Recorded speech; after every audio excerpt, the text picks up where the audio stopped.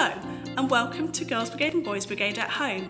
This is episode 7. Now, I know that this week lots of you have gone back to school.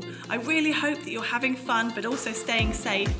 And for those of you who are at home, I hope you're still working really, really hard. In this episode, we're going to have our second parable, the story of the lost son. This is another parable that Jesus told. Do you remember the Pharisees were complaining that Jesus was eating meals and spending time with people that they thought were very wrong? Jesus told them this story. There was once a man who had two sons, and they both worked together on their father's land. Some day the two sons would inherit all their father's money and land and the house and all the farm animals. They loved working together. They worked so hard with their father on his farm. But one day the youngest son said, Father, give me the money I will inherit when you die. I want to see the world and have a good time. Now, for him to do this was actually quite offensive. He was saying, I don't want to be with you any more. I'd much prefer if you were dead. How, what a terrible thing to say. But the father, with sadness in his heart, gave the youngest son his share of inheritance praying that his son would spend it wisely and live a good life. but the son had wild parties to impress his friends. He spent money on whatever he wanted. Everyone wanted to be his best friend because he had lots of money and he paid for everything. But soon all the money had gone. When the landlord came to get the rent, the son couldn't pay. and then his new friends disappeared and now he was homeless, without any friends, without any money. He had nothing.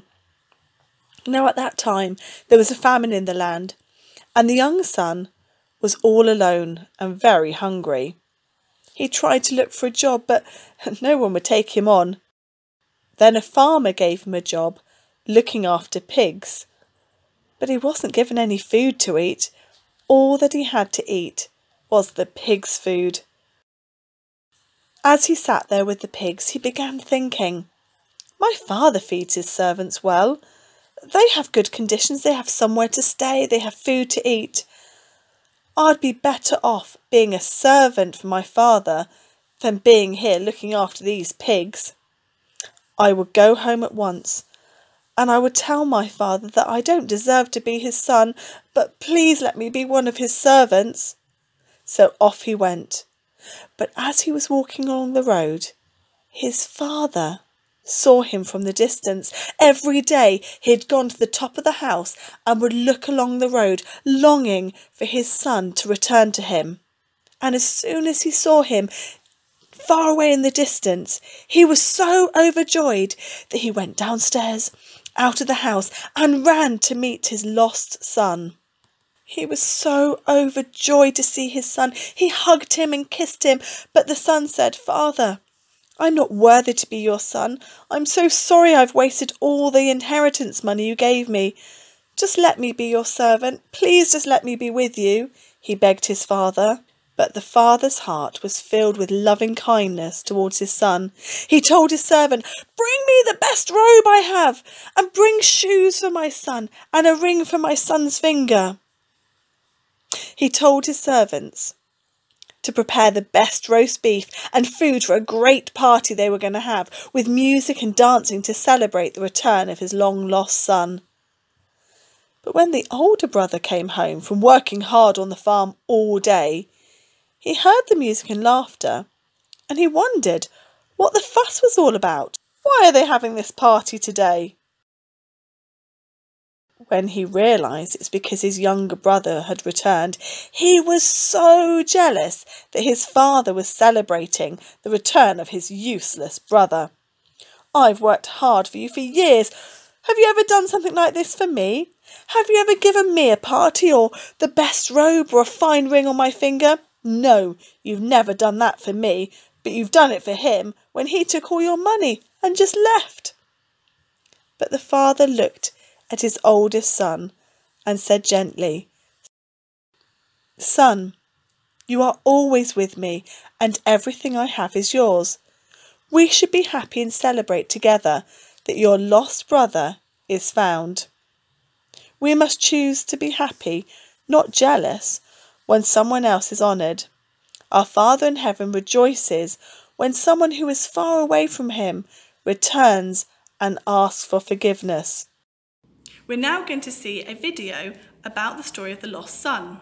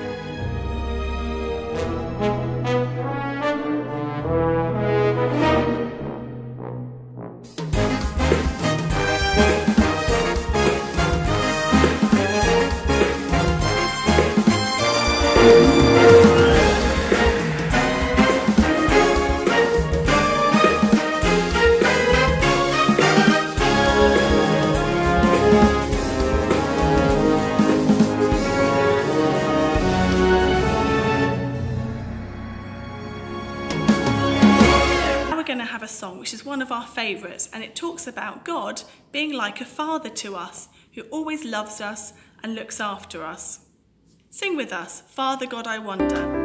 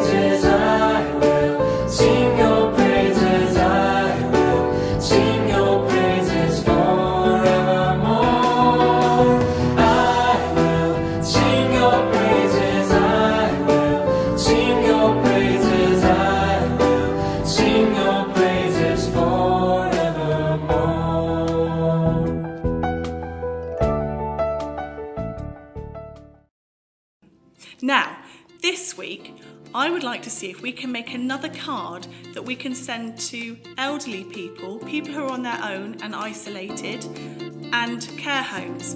Now, this coronavirus and staying inside has lasted a very long time, and for some people, they've been completely by themselves.